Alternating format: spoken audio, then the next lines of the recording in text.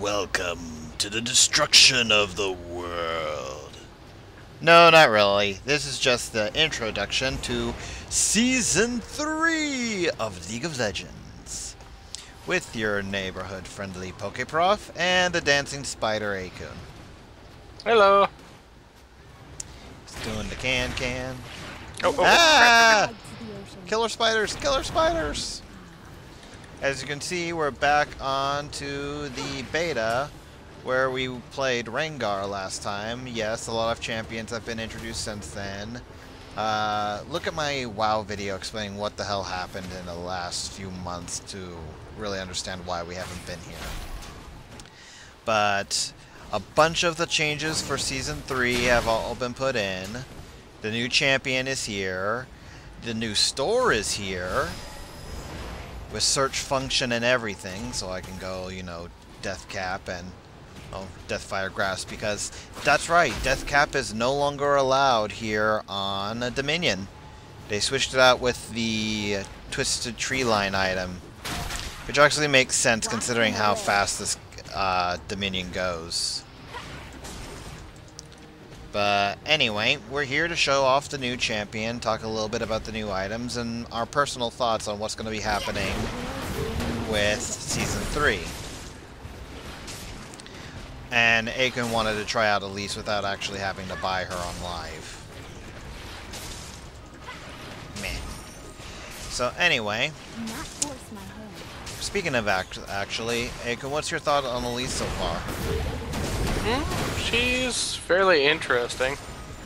You liking her spider dance? Oh yeah. Alright. So let's start off by going through all of Nami's abilities.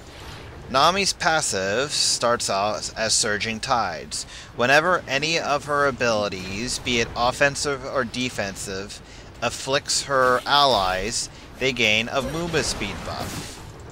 This scales starts off really uh, about like 30 or so at level 1, maxes out at 50 by level 18. Oh wow. They really nerfed at least the spiderlings. They max at three now. Oh no, they they get you get more of them as you level up your ult, dude. Oh okay. Yeah, maximum level I think you get like four That should or tell five you how spiderlings. How familiar I am with this champion. Yeah. Anyway, her Q, as you've seen, is Aqua Prison. It's a skill shot, and once she lands a skill shot, or in this case, I missed, uh, it captures the enemy in a little bubble and lifts them up into the air, stunning them for a few seconds. I'm not 100% sure if this stun is actually weakened by um, by tenacity. I'm I want to say no because it's lifting them up in the air. So I I really don't know. But also does some decent damage. Not a huge amount of damage, but decent enough. Ebb and Flow, which is her W, is actually the most abil interesting ability when she has. First off, kind of like uh, Lulu, she can cast it on her enemy or her allies. But unlike Lulu, um, it works a little bit different. If I cast it on myself, I heal myself. It's actually a pretty low cooldown heal, so that actually might be something that might turn out to be a little bit of an issue for Riot, because they said they dislike sustain. Then again, it's pretty low, so we'll have to see. If I cast it on my enemy, it does some damage. Now you actually saw the second effect right there. If I cast it on myself or an enemy and we're close enough, it actually goes straight to the enemy champion. And it will actually bounce between the ally and the enemy champion to a maximum of three times. Three times, yeah, three times. I say stuff good, don't I? Yes, you English good. Anyway, this is probably the well. yeah, this is probably one of the main abilities that I can see uh, most Nami's leveling up first, being their Ebb and Flow or their next ability. Simply because Ebb and Flow actually heals and gets stronger with level, whereas Aqua Prison, it stays, I think, at that same stun the entire time. The stun doesn't get stronger as you level. See? Now, Ebb and Flow is going to be a very scary ability. Not, excuse me, not Ebb and Flow. It's next ability, Tidecaller's Blessing. It's going to be a very scary ability for one reason only. It's a um, attack that increases the auto attacks of either yourself or your allies. Now, think of it this think of it this way. We already got some champions like, say, Draven, who have a buff to their next attacks in the case of Draven's Q. So if I do this on top of Draven's thing, it's going to make Draven's Q hit hard. Because it adds a good 55 damage, plus whatever your AP currently is, on top of that. As you can see, I'm already doing some decent damage to Akun, and I'm not even really seriously doing it. Ow. yeah, Elise does some pretty nasty damage with that blowing spider up. Kind of reminds me of Diablo 3 in a way because of like the spider that the uh, whatchamacallit has. Witch Doctor. Thank you. But yeah. So you could probably see Tidecaller's Blessing being used for champions like Vayne and Draven being your partners, and then the heal for anything else. Now the final ability is her ultimate, Tidal Wave, and it is just as awesome as it sounds. Where are you, Akun? I want to show it off. I'm coming back. I want Oh, you went back to base, so I couldn't kill you. They could get an idea of how much damage it can do. Well, in that case, I'm going to go back to base real quick and go get that item I was wanting to show off. Okay. Because I'll do the same. they've changed a butt ton of the items. For example, Eleisa's Miracle now has a very interesting ability I can see a lot of supports going and taking. This particular item change being the fact that it will actually passively buff your heal, revive, and clairvoyance cooldowns to where they are 20% lower. Gives you some nice health and mana regen, which, you know, supports need because they use their mana a lot. And if you gain three levels with this item on, it actually goes and is absorbed into the character and gives that basically the Eleisa's Miracle for them passively throughout the rest of the game.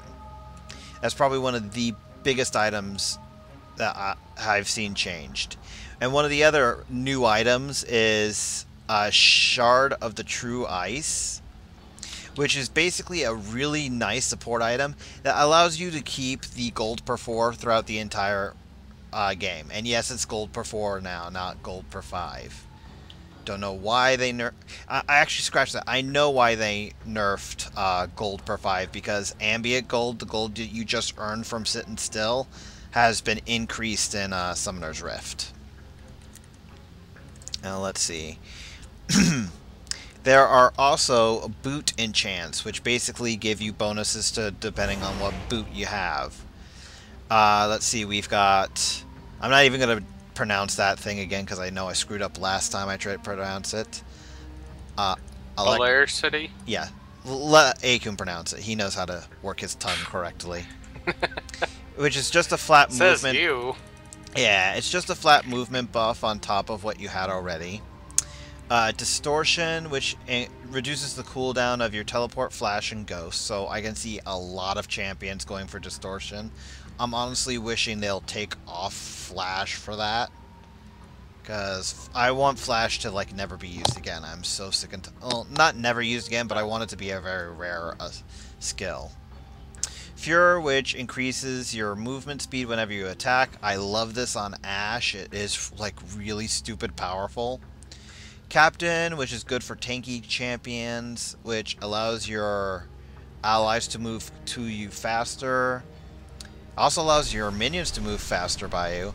And then finally, one last one called Home Guard, which is like gives you a stupid movement buff while you're on the platform. And a matter of fact, that uh, was gave Rammus his new top movement speed. I think Rammus's new top movement speed is actually, uh, pardon the pun, over 9,000. Very likely. Let's see, let's grab a Athene's. They nerfed Athene's a little, but they actually lowered the price some so that I can understand Quit that. flopping around. Yeah, yeah, yeah, I hear ya. Nami was being testy. She was like, "S- come on, get your ass moving. Interesting. It's like, people are here to see me. They're not here to listen to you talk. But yeah. See, other than that, we also have... On the waves. We also have the Total Biscuit item is finally in the game. We have the Total Biscuit of Rejuvenation. This is an item that you get only by going into the Mastery, um, uh, the Utility Mastery tree. You actually have to go pretty deep into it, I think. Okay, so where are you, Akun? I thought I could buy Are something. you in the I bush? Short, so. You are not in the bush. My quest beckons. Eight legs short. Now, the one thing I found the most interesting about Tidecaller was the fact that this and actually a few other items uh, that are new both do the same thing to where it's like for the next X attacks or for the next X seconds, you'll get this ability. We are all tied. I just found that really interesting for them Here's to an do. interesting one for you. The hell? Shard of True Ice. Surrounds an, a- an ally with a blizzard for 4 seconds. It slows nearby enemies' movement speeds for 30%, 60 second cooldown. That's interesting. I thought it was actually based on, like, on an, another champion, not on minions. You can toss it on anything. That's an ally. Because I have that thing too. Well, I'll be damned. Yeah? It actually moves with the minion. Wow, neat. That makes Mhm. the item so much better, even. Alright, I think we put it off long enough. Oh, what the hell hit me? Oh, No wow, idea. no, I, nothing hit me. That was uh, me absorbing the uh, Eleisa's Miracle. Oh, interesting. So now if you click me, I actually have that buff on my character to where you see Eleisa's Miracle or Elisa's Essence.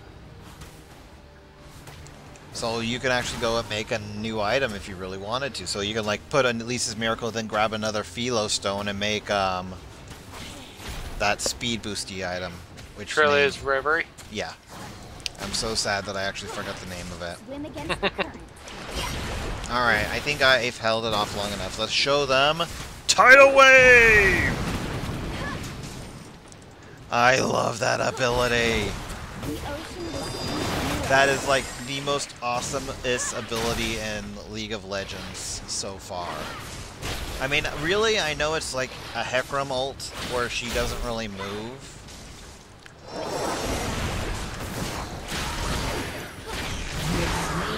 But I just think it to be. It, just looks really cool. It's like a giant surge of water heading to just swallow your enemy whole. And honestly, that the cool thing is, is that works with your passive. So all your allies that your tidal wave passes through, they get a movement buff. All the enemies, they get knocked up, slowed, dealt damage, and kind of like Ashe's ult, uh, tidal wave actually slows depending on how far the wave has traveled. So the further it travels, the more uh, it slows the enemy. Versus Ashe's, which just flat out stuns. Let's see. And their air. The Boneyard has been neutral. Oh, that's yours. Now, let's see. The Total Biscuit of Rejuvenation is basically an extra potion for I will see my you know, in general. Captured the boneyard. Not that big of a thing, and you would think something f- like for TB would be a bigger item, but meh.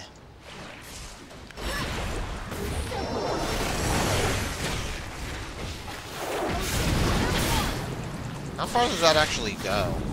It goes pretty far.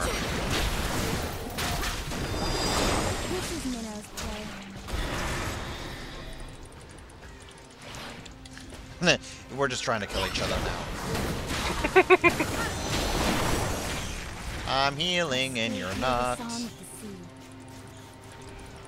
No, Okay. Tanky, I am not. Overall, though, I think Nami is actually going to be a very, uh, she's going to be a bit high skill cap support champion, but she's also going to be a very powerful support champion, especially if her heal stays this low. Because it's like every- every six seconds I'm able to heal at maximum rank. And it also does some decent damage against the enemy as well. And that Q does some decent damage. Holy hell.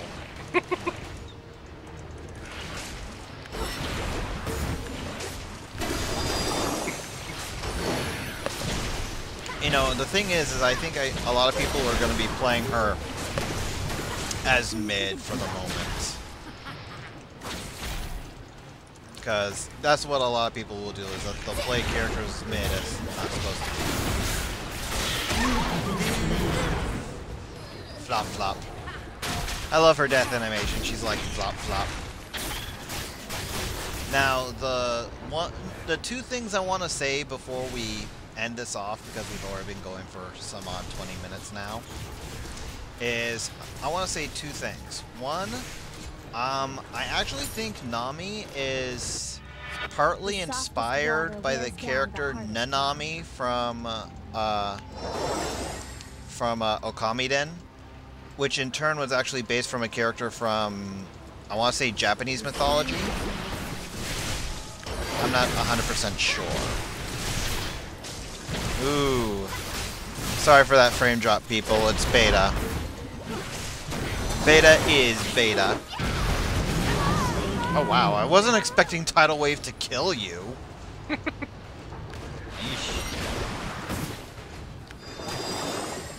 Swim against the But I that's what I, I've always honestly th- that's what I personally think Nanami is based uh no. Nami is based off of cuz I mean cuz Nanami is a mermaid is based around water including tidal waves and all that other junk. And it just seems like a very similar character especially in terms of name. And It just could be me. I just could be silly. Because, frankly, I am. And then the other thing that I've heard a lot of people say that I have to kind of agree with, I'm not sure what Akun's thoughts on this, is Nami shares a lot in common with Janna. Oh yeah. I mean, Your dry land. two different knockups, a heal. Holy shit. That hurt. Just think, I didn't get my full burst off. Yeah, and you got that Morella. You got the Morellamicon thingy. Morellamicon. Because, yeah, they actually changed Morello's item to where now you don't actually have to activate it to weaken healing. Mind you, you can only weaken healing now when they're lower health-wise, but it's still a pretty decent ability.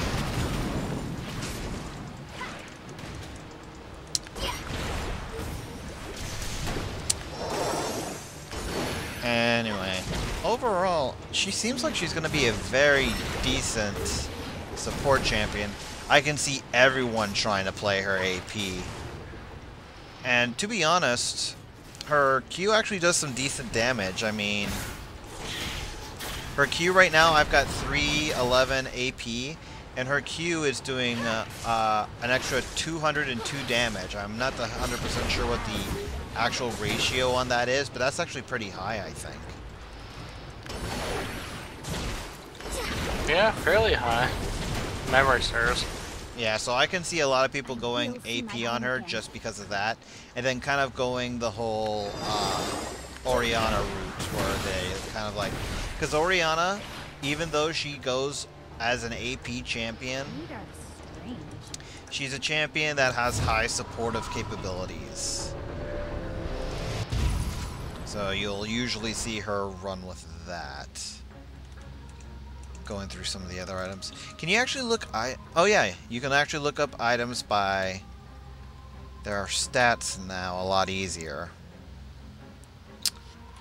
I honestly think they need to buff Spirit Visage a bit more if they're going to keep um, the other item removed from the game. Uh, Sure as the. Force of Nature. Actually, it would do some good to actually buy some items, wouldn't it?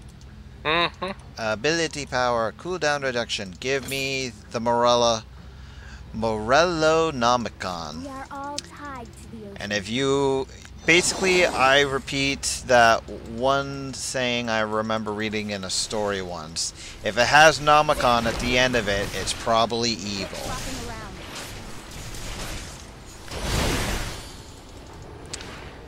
Uh, anyway. So what do you think, Akun, well, about Nami? I'm curious about your thoughts on Elise, too, since we didn't really do Elise. Still hear the song of the sea. Well, Elise's fairly fun. I almost want to call her a little bit more mobile version of uh, Cassiopeia or something like that. Your team has captured Or Maybe. perhaps, uh, on the waves. I'm trying to think of a, champion who's really good at like single target burst. Well, that's not Cass. Cass specializes more in AoE, especially with her ulti. Uh, Oh, she's got a bit of AoE. That's the thing. well, so does Annie, but Annie is more about blowing a one target up.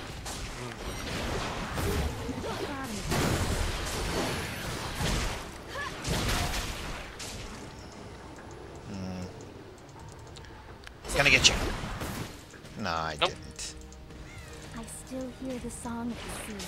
Uh, but really, I see Nami being very powerful. I see her being, I see her being exceptionally dangerous with champions with auto attack amplify amplifiers. So, uh, Draven, especially since she's a support. That's my, mind you, that's if ranged AD uh, support bot is actually going to be the same anymore the waves. Because I honestly don't see it being the same anymore with all these item changes. One of the big item changes is the fact that they lowered they lowered the uh, price of eight flat AD and they increased the price of attack speed. So I can see a Oh damn you! No! Run away! Run away!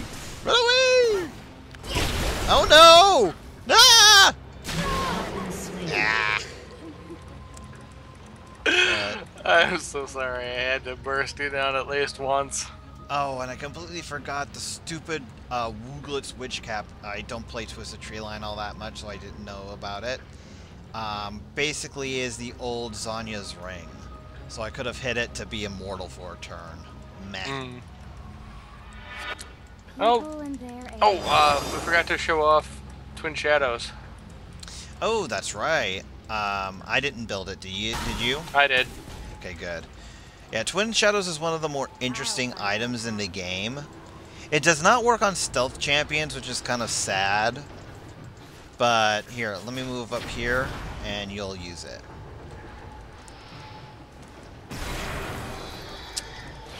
Basically, what it does is that it sends out a little uh, ghosty to go and find the enemy players. It'll actually send out two. We just have the one because, you know, we're just 2v2, one on one here. There. And it will go and slow them down and give sight, which is really good if you're trying to basically find a person that flashed. I think it actually obeys terrain because it looks like it was, you know, walking around the terrain to get We me. are all tied Right. to the ocean. So, uh, that's interesting. Nami actually has a different animation depending on how her fast her movement speed is. People are counting on me. Hmm. Well, she's not the only champion who does that. Um, I think Sejuani does that as well. And a lot of the newer champions do it. Boom.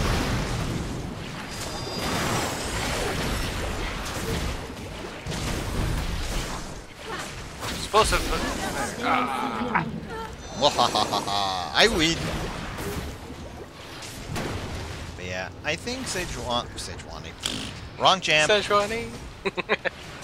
Well, actually, believe it or not, Sejuani does is going to be a little bit more powerful in season three, simply because they changed the items enough to where there's actually items with stats she wants. Softest water wears down mm-hmm. the hardest rock. Otherwise, though, I'm Plus, really uh, they've been adding a lot more spe- character-specific items, like uh, Mikael's Crucible. Feet are strange. yeah.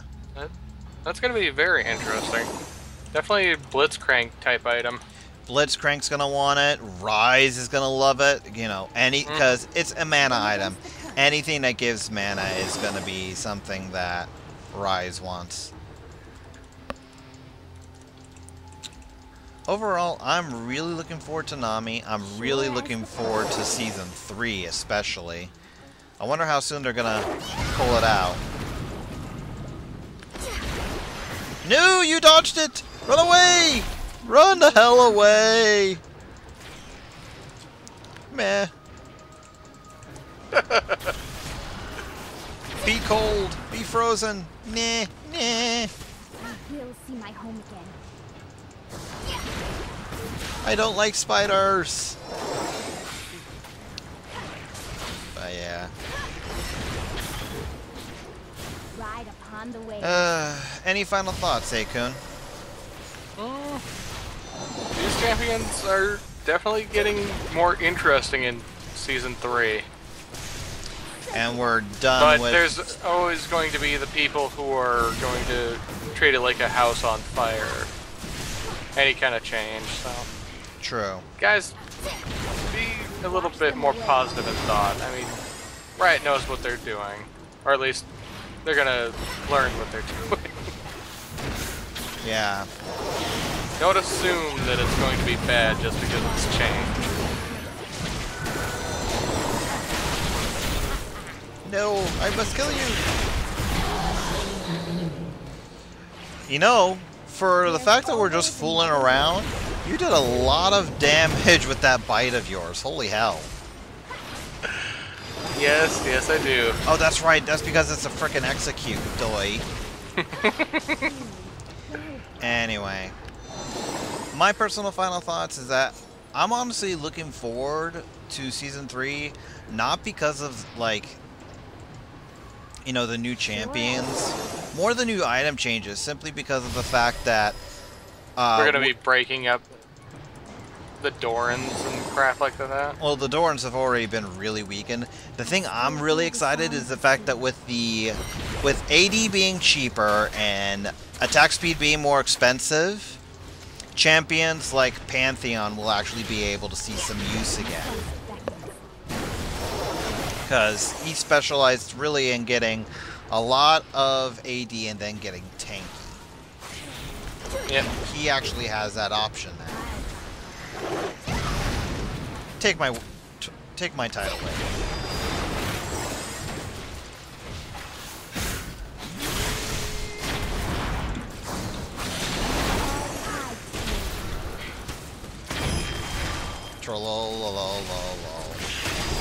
Huh. My Q wouldn't target you. Ah, dang it. I think that's a good point to end it on, don't you? Yes. Wait, oh wait. well, dance for a spider to end us off. Uh, he's a spider. I'm a dead mermaid. We'll see you later, guys.